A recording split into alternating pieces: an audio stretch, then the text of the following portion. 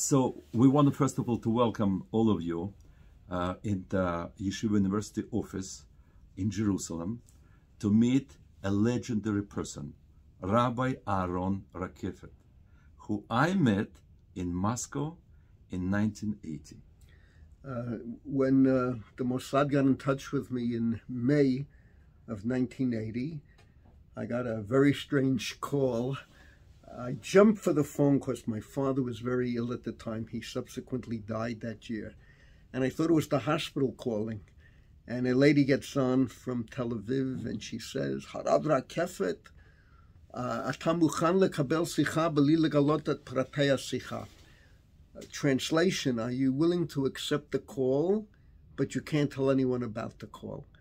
I figured for sure it's one of my students calling who's doing a terrible sin, and I've gotten calls like that. And they think I'm a Catholic priest that I can tell them to say some Hail Marys and they're forgiven. So I figured that's the story. I just got the call. I don't even want to repeat the Shiler. It involves sex, deviant sexual behavior. So I said, the Vakasha, pass the phone on. And uh, a man gets on. And he says, We know that you know how to teach Gemara. Atamuchan lelamed Gemara in Moscow. Are you willing to teach Gemara in Moscow? And I answered yes. He said, Who will you take with you? I said, My wife. And then he says to me, And what about your three daughters? And he gives me their names and their ages. I mean, I was shaking. Of course, in retrospect, I realized the Mossad had done a thorough check on me uh, to see, number one, that they could depend upon me, that I'm a loyal citizen, and I did have that American passport and that dual identity that uh, I could pass for a real American. In other words, it's not not enough. I, later and later, when I worked, with the next ten years, Malka and I worked for the Mossad. We sent over 200 people to Russia, our shlich, shlichim, we called them, our emissaries, uh, so-called tourist quotation marks, and um, each each one who went did wonderful, wonderful work, but um, all this could only come about because Aryeh Kroll, who was the person who spoke with me later, gets Pras Yisrael for uh, evolving this whole scheme, we can call it, realizing our dual identity. So when I would look for people, I had to look for people who had an American passport, a Canadian passport, uh, that was most important, but it was more than that. You could be born in America or Canada, but you're not really an American or a Canadian. You speak uh, the language with a bit of an accent. Uh, you you don't know baseball, for instance, and uh, we had the advantage that we what I call Chatzi Evet, Chatzi Ben Chorin. We were half Israeli, half Americans, and that began a tremendous saga in my life that continues until today um, after the Holocaust. I know what happened in America, and uh, I'm only alive, by the way, because of the Russo-Japanese War. I write about it in my seventh book. It's a scholarly memoir, the seventh book. And uh, in that book, I write about my grandfather, who was very lonely in America and had saved up enough money and booked passage to go back 1904. And about a week before he was to sail, he got a telegram from his parents not to come back. Funya, meaning the Tsar, is looking for you for the Russian army. That was the Russo-Japanese War. And when he heard about the army, he remained in America. And as they say, then he married, and the rest is history. So, uh, you know, I saw what happened in America, how my spiritual life was saved because of a Japanese consul named Sempo Sugihara Seichet Tzadik Levracha. He served, saved the Mir Yeshiva via Japan, the well-known story.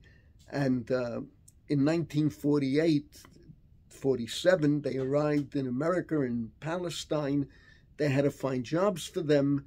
And by 48, uh, they were teaching 49 in, in a day school, what you would call a day school today. I was going to Yeshiva Rabbi Yisrael Salanter in the Bronx And suddenly in seventh grade, I had a Rebbe that didn't speak a word of English, and I didn't speak a word of Yiddish. A year later, I had Reb Chanich Fishman, Talmud Muvhak of the Brisker Rav, and Reb Chanich had a great influence, and it's amazing what happened as a result of these refugees in the United States. And then we always knew Russian Jewry was persecuted, Rabbanim were executed, Malamdim were exiled to Siberia. What could we do? And suddenly there was the chance to really accomplish and really do. And subsequently, 40, 40, more than 40 years later, you look back and you see the rebirth and you see so many Balei and I wouldn't even call them Balei. I can be a Bal Tshuva if I did something wrong, but these people knew nothing. They discovered the blood in their veins. They discovered who they are. I want to tell Rabbi Katzin a little story that um, a few years ago, uh, my granddaughter was doing Sherit Lumi in Tel Aviv. She was a guide to certain museums there and the Sarona, what they rebuilt, if you're familiar with that project in the heart of Tel Aviv. And uh, we wanted to eat out uh, before we went to the second museum where she was guiding. And uh, she told us, yeah, there's this nice kosher vegan, it's a vegan place. So we go there and uh, about and we're sitting outside. We ordered the food. It was a nice day. We're sitting outside. We're eating, and about two rows behind us, two young men in their 30s are learning Mishnah Brura and talking in Russian. And it was to me like the sweetest music in the world that I could hear them learning Mishnah Brura and talking in Russian. I then went over to them and I told them, Do you know where you are? Do you know where you're sitting? And I think they figured, ah, Nutnik, what's he bothering us? But I then mentioned Shvut that I was one of the founders, and they're, ah, Rav Kugel, you know this one, you know that one. Ah, then they were willing to listen. And I told them that Sarona Park, they knocked out Albert Mendler Street. Albert Mendler Street 24 was the most secret part of the whole Russian operation in Israel. I was then in the army. I had done basic at the age of 38 and 76, and for the next 15 years, I was in the uh, did and the heart of my miluim was in the Central Army Base in Tel Aviv. To get into the Central Army Base, what's called the Mate Klali, all I did was have to show one piece of paper I was in. To get into the Russian place, the secret place, which was a few blocks away, I would go there from the army to the Russian place, with Aryeh Had to go through three levels of security. Do you know why? Because in the final building where I met with Aryeh, they had one of the earliest computers in Israel. It was an entire wall that was a big, large room, lights flashing, and they had the name of every refusnik, anyone who requested repatriation out of Russia was in that computer. And I'll say about the Mossad, this was a branch of the Mossad, it was called Nativ, and it dealt expressly only with Russian Jewry. They were the ones, Aryeh Kroll headed up the division that dealt with people like myself and my wife that had dual identity and were being used as shluchim to Russia. And what the Mossad did, when you requested to leave, so someone snuck it out of Russia, one of the visitors, and it reached the hands of Nativ, of this branch of the Mossad and uh, they have your name, it goes into the computer. Well, now they have to find a relative. So they check the Israeli population uh, computer. If they had a computer, then it might have only been a list, but it was all there. They would get someone with your name and they would invite you to come to Israel and claim they're a first cousin, they're a brother, they're a nephew Now, you should know the Mossad never told these people. But one time they came up with a relative, created this, sent the visa request, and suddenly I get a call. People are hysterical. What happened was the person in Russia who got the invitation was a smart Russian Jew. He uncovered the phone number who this person was inviting him, and he called to find out who his long lost artificial cousin, nephew, uncle was. And that person was so shaken up, Communist Russia is calling him. So the Anglo said, uh, go, go to Rabbi Rakeffet. He knows what's going on. So I would tell them, relax, forget about it. It doesn't concern you. It's not going to harm you. It's only going to work to the advantage of Klal Yisrael. All right, these are just a few reflections. There's a world more, and uh, it's the miracle of rebirth. If anyone would have told me uh, after World War II that Torah would thrive again, uh, I would have looked at them quixotically. But today, in my old age, I sit in my office in Jerusalem, and I want you to know that this campus I'm the one that got it for Yeshiva University. I always say I gave YU a hundred million dollar gift, if you know what this campus is and what it's worth today. And that's a story unto itself, how I got it and created, helped create the Kollel here.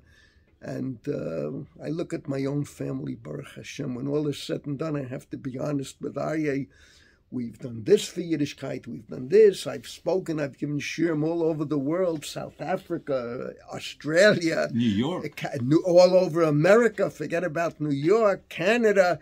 Uh, oh, I've been all over the world. But um, those achievements are wonderful. My scholarship, my books, etc., my shiurim, my wonderful students. But the greatest achievement is your own family. That uh, you raise uh, children, uh, grandchildren, now great grandchildren, and the nachat I have to see them walking the paths of their great, great, great, great grandparents. They continue the hemshechiyut, the Masorah, the continuity, and uh, there wouldn't they wouldn't be ashamed and to meet avot shalanu, ha'ima'at shalanu, Avraham, Yitzchak, Yaakov, Sarah, Rivka, Rachel, Leah, and to meet Mashiach Tzidkenu b'mheira b'yameinu. Amen. Selah. Rabbi Rakeffet, thank you so much. I just want to mention something that when I came to Israel, the first day right. I came here, right. the first day, right. right. and I think at that day, not only that I had the privilege to address the students of Yeshiva University, but also I saw somebody who was, I believe, one of your shlichim, by the name Tzvi. Tzvi Groner. Tzvi Groner. Tzvi Groner Levracha. I didn't know that Baruch Dayan but I heard what he said to me then. He said, when I came to Russia, it suddenly uh, made clear to me that the miracle of rebirth of Russian Jewry is greater than the Nes Hanukkah, than the miracle of Hanukkah. Remember what he said? Yeah, go ahead.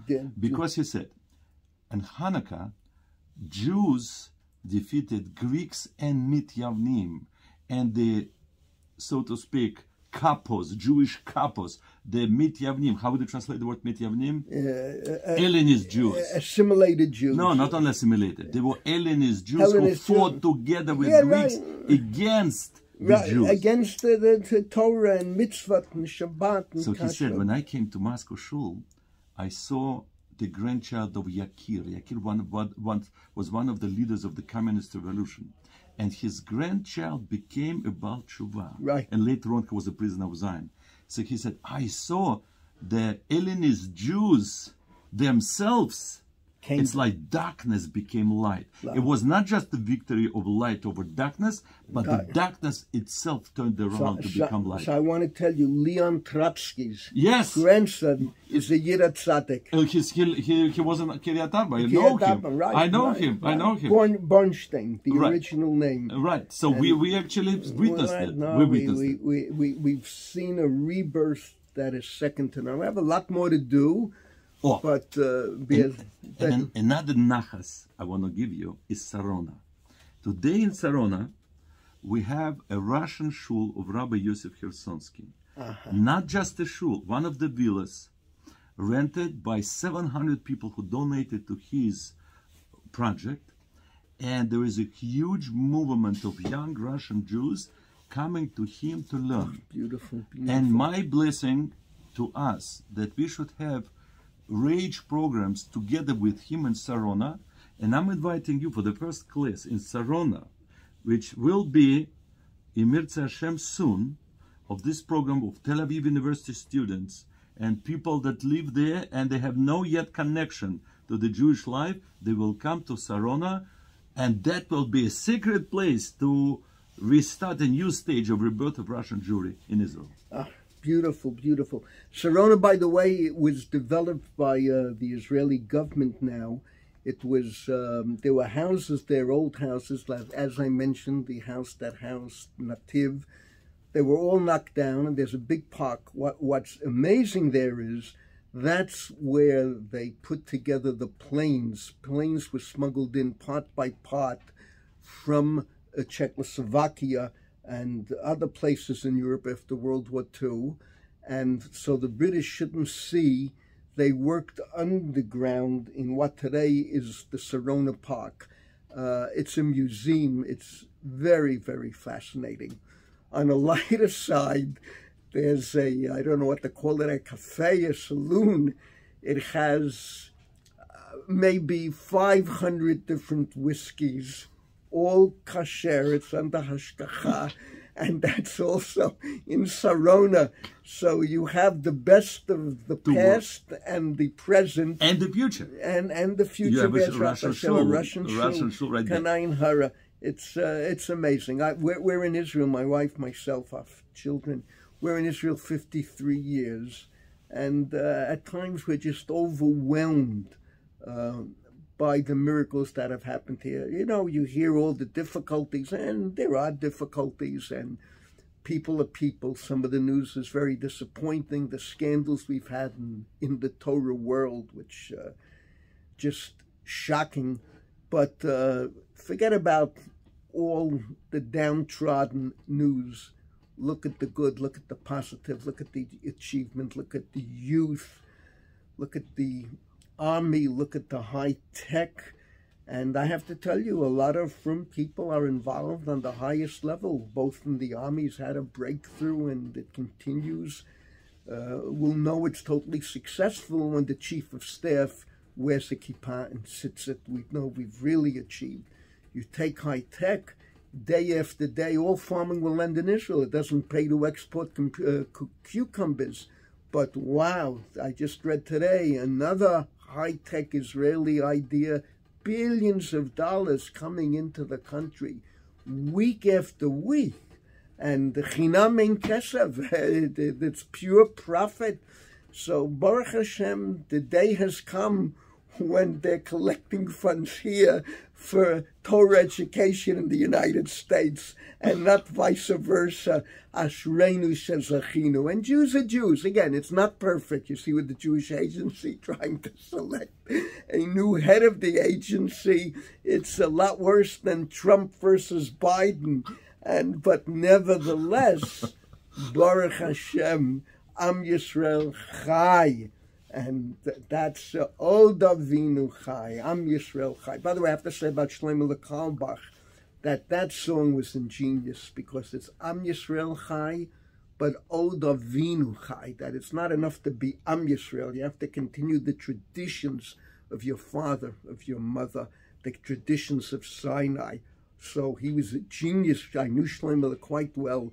He was a genius on that level. Am Yisrael Chai, Od Avinu Chai. Robert, last question. yeah. We want to learn from you courage. Because I'm sure that when Ari Kroll, who I knew also had the privilege to know, called you and asked you, Are you willing to go to Russia? You understood that communist Russia is not a joke. And they can arrest you and they can, who knows what they can do. And I remember when you came and you spoke at my apartment in Moscow. Uh, and you learned Gemara, we learned Gemara Psochim with you. We Psochim. Gemara Psochim, and and we learned about the Seder, and we learned beautiful things about halacha, how to put tefillin in the morning when it's still dark. I remember beautiful things. But one thing you shared with us, and you said that an Arab Palestinian came to you in a Moscow airport Right. and asked you, "Are you Jewish?" Right, right. and you were scared what he's going to do to you. you. You're in your new country, you don't know this place. And um, I have to admit, when I come to Russia today, I still have some uncomfortable feelings Yeah. until today. Right. It's a different country, no KGB, right? But I still feel today. I don't know how you did then.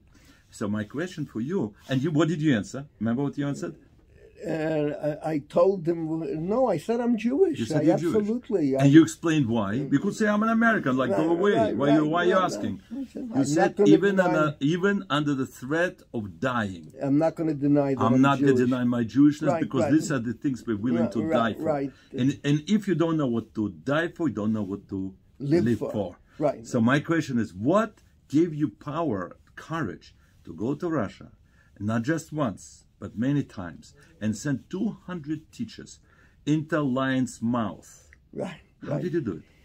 All right. The, the the answer is basically you have to know my wife. Uh, no man accomplishes anything if his wife is not with him.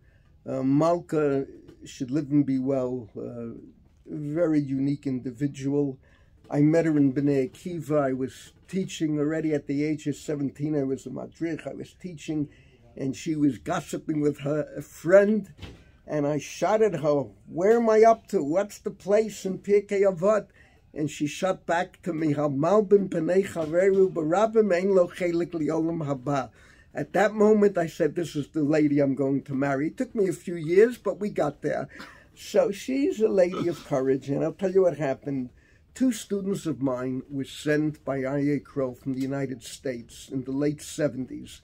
And before they went into Russia, they came to my house, and like it was a final vidui. They left valuable things with us and what to do in case they never come back. And uh, these two students, one are very famous people today. One is Dr. Phil Caslow of Columbia Presbyterian. One is Rabbi Dr. Danny Rothenberg, a well-known psychologist on the Upper West Side. And uh, Malka said to me, you see, your students have guts. You wouldn't have the guts to go. So when Aryeh Kroll said to me, Atamu Lamed Torah b'Moskva, I immediately said, oh boy, I'm going to teach my wife a lesson. And when she came home, I said, guess where we're going to have a meeting and guess what it's about?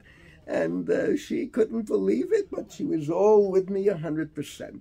Um, I think part of it was after living in Israel, serving the Israeli army, and uh, all that goes with it, um, and seeing Israel and, and seeing the country and getting to understand a country built by DPs, by survivors, by uh, masses from the Arab countries, the Edot HaMizrach, and, and from all these people, many of them broken uh, physically, some of them spiritually, look at the country we put together and, and look how life here has improved on all levels, spiritually, physically.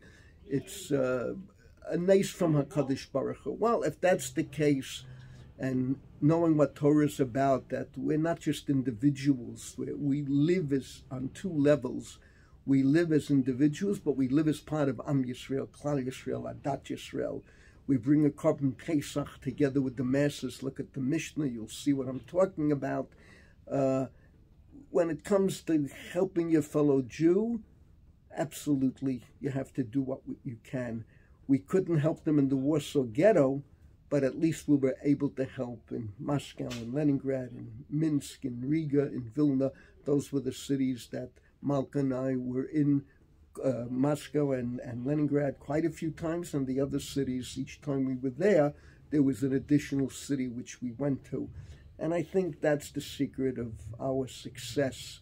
I might add that one of the great shluchim that I sent was Avram Abba Weingort, Rabbi Dakta. Uh, he was a Talmud Muvhak of the Sridei Eish after World War II. His father was a Talmud Muvhak before World War II. And when I asked Avram Abba to go, he went to Rabbi Shlomo Zalman Auerbach and asked him, should he go? And Rav Shlomo Zalman Auerbach told him to ask me, what's the worst that has happened to our shluchim? So I told him a few were beaten up by uh, hooliganim, quote unquote, KGB agents on the street. By the way, the word hooliganim is a word they use in Russia. It's a word I learned in Yiddish as well, hooligans. Uh, that was the worst. David Applebaum, Hashem Yikom Damo, Rabbi Dr. David Applebaum, whose picture is right behind me on the wall, um, he was actually arrested. He was in jail. I write about it.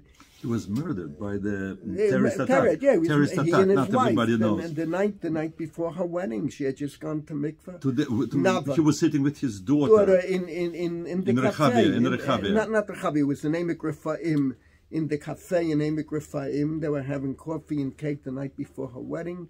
She had just gone to mikvah. Ugh, the price we have paid. That's also not to be forgotten here. It wasn't all roses and honey, to put it mildly. And um David uh, was actually arrested. I write about it in Washington. I write about it in Rakafot Aharon Chelik Dalid. You can see all the information there about David.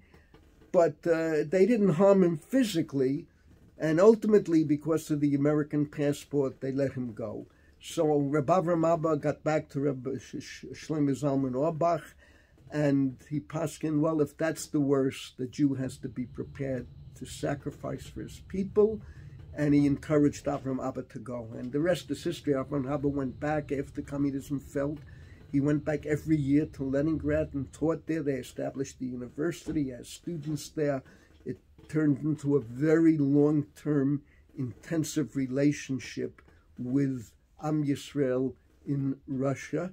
Many of them later came to Israel, and they become part of the Israeli scene here. The country built by immigrants from so many different countries, so many different languages, so many different mentalities. But I'll tell you, our great grandchildren already, uh, they're happy to be here. They, I don't know if they can even start to understand what came before them. And I remember at the Pidyon Haben of one of my great grandsons, I was speaking and talking about it. Turned out the grandmother on the other side was my student in Israeli Michala in 72, I believe. Her, her grandfather, her father, was the Sfadik, the Moroccan chief rabbi of Arakiva, Arav Cohen. And I spoke about this little kid, all the different blood in his veins. I spoke where this grandparent is from and that grandparent, ah, the kid, German, Polish, Russian, Lithuanian, Czechoslovakian, Moroccan. And I don't think the level of my grandchildren even started to understand me. What is he talking about? We're all Israelis. Uh, and, and Baruch Hashem, Ashreinu Shezachinu, that they say we're all Israelis. It's a fabulous achievement. Lekavod uleteferet ulahagdil Torah ulahadira. I want to thank Rabbi Rakeffet for this amazing interview and give a blessing. And the blessing is that Rabbi Rakeffet, we need you and Malka for many, many years and decades to come, because Klal Yisrael, Jewish people, need you. Uh, we- And we need you healthy and strong. Continue to give you Monday, Tuesday classes, writing your wonderful sforim. And I have to say that in my shul in Brooklyn, your books on the shelf, and my children, even the oldest boy, Av- Avromi, who's an attorney right now in, in Israel, used to come to this shul and take your book, and he knows ah. all about your books. And my one of my youngest children, David, It's my who- Talmud. David Michal, he's became your Talmud. Right, He right. comes here on classes and he's so inspired. And my blessing to you, I see there is a picture on the wall that I want to show this picture.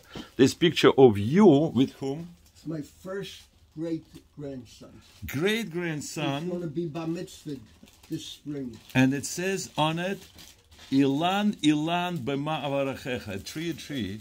What should I bless you with? And there is an answer. And what's the biggest blessing we can give to a tree and the biggest blessing we can give to you?